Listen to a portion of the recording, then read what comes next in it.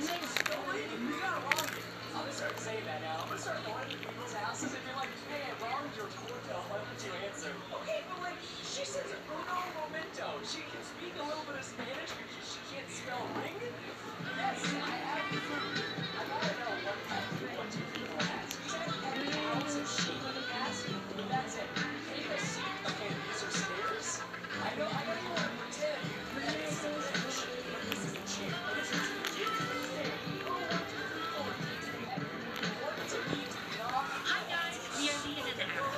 check out our latest single.